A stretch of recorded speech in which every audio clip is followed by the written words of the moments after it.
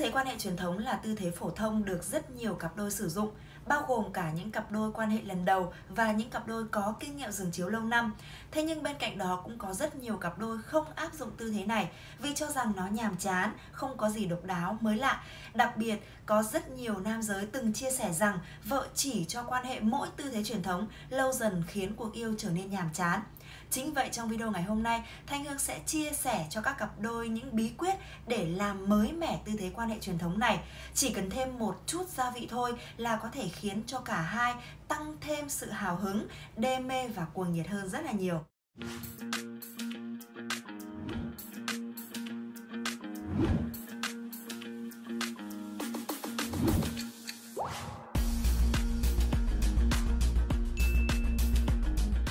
Trên gái dưới là cụm từ quen thuộc để miêu tả cho tư thế quan hệ truyền thống. Trong tư thế này, các chị em sẽ nằm ngửa bên dưới và các anh em sẽ là người làm chủ cuộc yêu, có thể ngồi đối mặt hoặc nằm đè lên người nữ giới. Vì là người nắm quyền chủ động nên trong tư thế này, nam giới có thể thay đổi mức độ kích thích, độ sâu, khả năng và cả tốc độ cực khoái cũng như chủ động kiểm soát quá trình xuất tinh của mình. Nhiều cặp đôi thích quan hệ tư thế này vì trong quá trình ân ái, cả hai có thể nhìn trực diện thấy cảm xúc của nhau khi hoan lạc lên đỉnh hay là khi gặp trục trặc cần phải điều chỉnh tốc độ của cậu nhỏ. Điều này giúp cho hai người dễ dàng phối hợp với nhau hơn. Để đem lại cho nàng khoái cảm đê mê nhất, các anh em hãy áp dụng những bí quyết sau. Bí quyết đầu tiên đó là vờn cô bé ở bên ngoài. Đừng vội vàng đưa cậu nhỏ vào cô bé. Hãy từ từ mơ mơn trớn, di chuyển đầu cậu nhỏ lên xuống, cọ sát với âm vật ở bên trên và hai mép bôi bé ở bên dưới để tăng hưng phấn tột độ cho nàng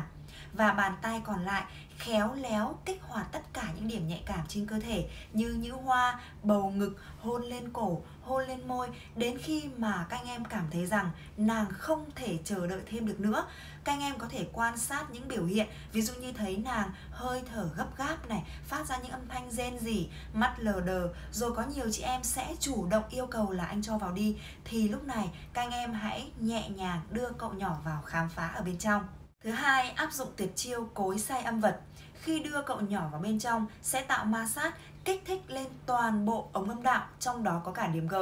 Tuy nhiên, người phụ nữ không chỉ đạt cực khoái ở điểm G ở bên trong mà còn có cực khoái âm vật, chính là hạt le ở bên ngoài. Nên nếu biết kích thích đồng thời, người phụ nữ sẽ nhận được nhiều khoái cảm hơn. Thay vì chỉ đi ra đi vào như bình thường,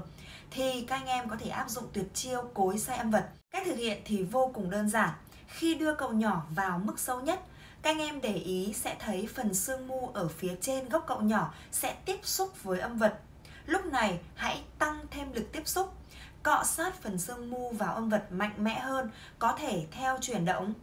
lên xuống, sang trái, sang phải hoặc là chuyển động xoay tròn. Khi áp dụng tuyệt chiêu này, các anh em sẽ không bị mất sức quá nhiều và giảm nguy cơ chưa đi đến chợ đã hết tiền, đặc biệt là ở những nam giới có phần quy đầu quá nhạy cảm bởi vì phía trong ống âm đạo bao giờ cũng rộng hơn phía bên ngoài gần cửa. Cho nên khi cậu nhỏ ở sâu bên trong, đặc biệt là phần đầu cậu nhỏ ở sâu bên trong, hạn chế việc đi ra đi vào thì sẽ giảm kích thích rất nhiều lên phần quy đầu. Nên là khi mà anh em cảm thấy là hưng phấn bắt đầu tăng cao thì hãy làm chậm lại, đưa cậu nhỏ vào sâu nhất và thực hiện nghiền âm vật không lo là cuộc yêu bị gián đoạn, vẫn đem lại cho nàng khoái cảm tột độ mà các anh em sẽ kiểm soát được thời gian cuộc yêu tốt hơn và chia sẻ thêm cho anh em một bí quyết nho nhỏ nữa đó là nhằm nâng cao vị trí của âm đạo và âm vật giúp cho việc cọ sát dễ dàng hơn tạo được nhiều kích thích này giúp cậu nhỏ vào sâu hơn chạm đến cực khoái nhanh chóng hơn thì có thể kê dưới mông nàng một chiếc gối đặc biệt những cặp đôi nào muốn tăng tỷ lệ thụ thai thì cũng hãy áp dụng bí quyết này nhé Xuất tinh sớm, yếu sinh lý từ lâu đã trở thành nỗi ám ảnh của nam giới và tình trạng này ngày càng trở nên phổ biến. Nó không chỉ ảnh hưởng đến sức khỏe sinh sản mà còn khiến cho đời sống chăn gối vợ chồng mất đi sự hòa hợp. Có rất nhiều câu chuyện, vợ ngoại tình chỉ vì chồng bị xuất tinh sớm 1-2 phút đã ra hoặc yếu sinh lý đang yêu thì cậu nhỏ lại xìu, khiến vợ bị hụt hẫng không được thăng hoa. Trước thực trạng đó, Thanh Hương cùng với đội ngũ chuyên gia đầu ngành đã nghiên cứu và cho ra đời hai dòng sản phẩm tăng cường sinh lực cho nam giới Man Plus và Man Plus Gold. Không chỉ giúp nam giới cải thiện về sức khỏe mà còn giúp cho đời sống chăn gối vợ chồng thăng hoa, viên mãn hơn. Sản phẩm được chiết xuất 100% từ các loại cao thảo dược quý hiếm như dâm dương hoắc, nhục thung dung, bá bệnh, bạch tật lê, sâm cao, ba kích, nấm tỏa hương, nhân sâm, đông trùng hạ thảo. Có tác dụng bổ thận, tráng dương, sinh tinh, bổ huyết, giúp nam giới cải thiện thời gian cuộc yêu theo mong muốn, tăng sản sinh testosterone nội sinh, khắc phục tình trạng khó cương, cậu nhỏ không còn lo gặp tình trạng bị xìu giữa chừng. Phục hồi sinh lực sau mỗi lần xuất tinh nhanh hơn, làm chậm quá trình mãn dục. Đối với những nam giới đang trong độ tuổi sinh sản, còn giúp tăng chất lượng và số lượng tinh trùng, góp phần tăng tỷ lệ thụ thai. Sản phẩm được sản xuất trên dây chuyền đạt chuẩn GMP và đã được Bộ Y tế kiểm định cấp phép lưu hành nên các bạn hoàn toàn yên tâm khi sử dụng. Man Plus và Man Plus Gold giúp nam giới lấy lại bản lĩnh phái mạnh. Quan hệ tư thế truyền thống không có nghĩa là nam giới phải chủ động hoàn toàn, nữ giới nằm dưới chỉ thụ động hưởng thụ hoặc cam chịu khi không thích. Mà chuyện ân ái là của hai người, phải có sự tác động qua lại thì mới có được sự thăng hoa trong cảm xúc và lên đỉnh cùng nhau. Vậy các chị em cần phải làm gì để tăng hưng phấn cho chồng? Một Tương tác với chàng. Thay vì chỉ dang rộng chân để chàng đưa cậu nhỏ và thúc vào bên trong Thì các chị em nên tương tác lại để tạo ra sức hút. Có thể dùng chân kẹp chặt lấy phần hông của chàng Dồn sức xuống chân để hướng chàng đưa đẩy cậu nhỏ ra vào bên trong theo đúng ý của mình. Ngoài ra, khi mà các chị em nằm ở tư thế dang rộng chân hình chữ V, bàn chân chạm với bề mặt giường thì lúc chàng nhịp xuống, các chị em có thể nâng cao phần hông để hất ngược lên trên. Hành động đó thể hiện sự chủ động, cho chàng thấy là các chị em cũng đang hòa nhập hết mình vào cuộc yêu. Điều này giúp cho các chàng đỡ mệt mà còn tăng hưng phấn hơn rất là nhiều. Hãy nhớ rằng không có người chồng nào thích vợ mình nằm im như một khúc gỗ cả. 2. Sử dụng đôi bàn tay ma thuật Hãy thử tưởng tượng trong khi chàng đang đưa đẩy cậu nhỏ ra vào bên trong cô bé, còn các chị em sử dụng đôi bàn tay ma thuật của mình để massage, mơn trớn vòng ngực, bờ vai săn chắc hoặc có thể đưa xuống bên dưới để khêu khêu, gãi gãi hai hòn bi bên dưới thì cảm giác của các chàng sẽ ra sao? Chắc chắn là sướng tê tái luôn rồi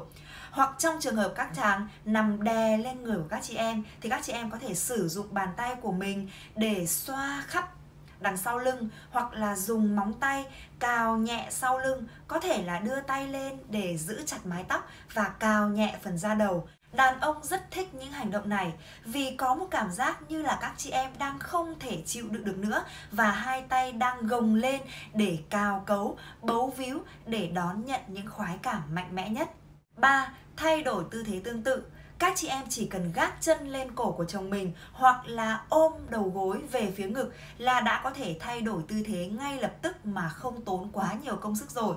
Cái việc thay đổi tư thế linh hoạt trong cuộc yêu cũng sẽ giúp cho cả hai bớt nhàm chán hơn. 4. Khen ngợi chàng và thể hiện cảm xúc của mình.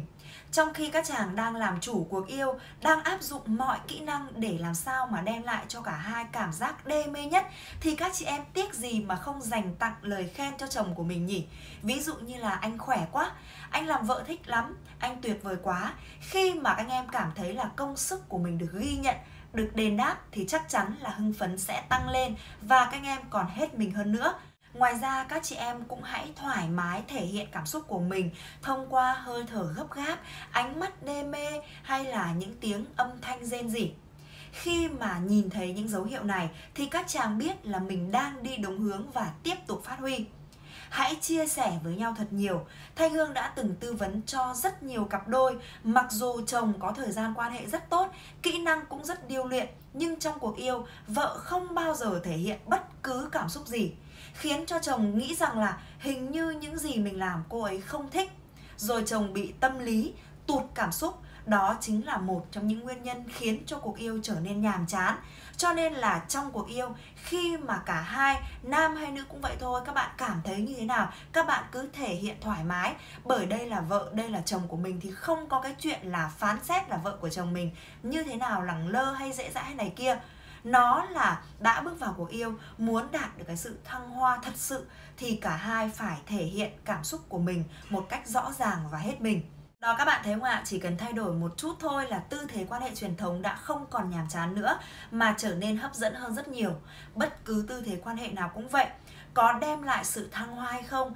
còn phụ thuộc vào những hành động mà mình dành cho đối phương như thế nào có những hành động khiến cho đối phương bị tụt cảm xúc, nhưng cũng có những hành động lại đem lại kích thích, hưng phấn vô cùng hôn nhân hạnh phúc gia đình cần có sự vun vén của cả hai và cuộc yêu muốn thăng hoa cần phải có sự tương tác qua lại. Chúc cho các cặp đôi có được những giây phút thật là tuyệt vời sau khi áp dụng những bí quyết trong video ngày hôm nay nhé